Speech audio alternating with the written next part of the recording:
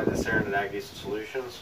Hope you're having a great day. We're getting ready to do another field install on a 2017 6.7 Power Stroke in this uh, Ford F-250. This uh, module is going to be very similar to the install as you'd see on the 11s through 16s. Uh, but with this module, you can expect to see upwards, uh, you know, three mile a gallon in fuel savings and up to 90 horsepower. Uh, this is one of our more simple modules to install for the truck edition line. So we'll go through and show your key connection points. Uh, with this install and uh, get you guys going on your. So the primary location is on the end of the fuel rail, which is the fuel rail sensor. As you can see, it's right down there. Might be a little hard because it is kind of secluded. Uh, that is a three pin connector. Uh, when removing that, it will latch. There will be a latch on the ramp side of that sensor. Uh, going back with our harness, make sure that the ramp on our module is on the same side as the factory connector. It is possible to get this put in 180 degrees the other way. Uh, so we'll go ahead and release the factory 3-pin female from the sensor and install ours. And the orientation of ours is going to be like this. So we'll go ahead and put it into the end of the sensor.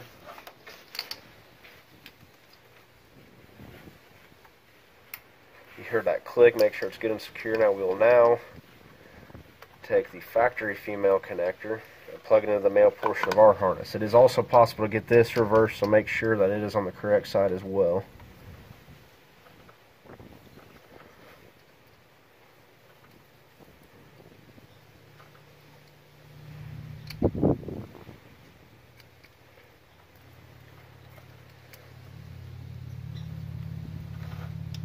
as we heard that snap and click as well so that is pretty well uh, what sums up the install of this module. This is our 22300 uh, module. What we're going to go ahead and do is make sure to keep us away from any high heat or moving parts and components.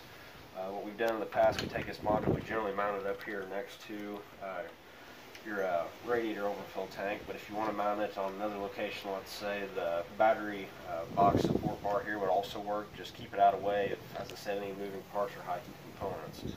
Um, go ahead and zip tie this. I want to touch base too on the switch.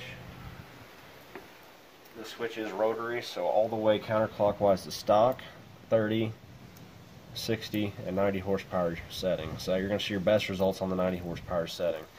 Uh, so that completes this install. I want to thank you guys for joining us today. If you uh, need any other information, you can check out our website, agdieselSolutions.com, as well as our social media websites, Facebook and Instagram, and also YouTube, where you can find further videos such as this one.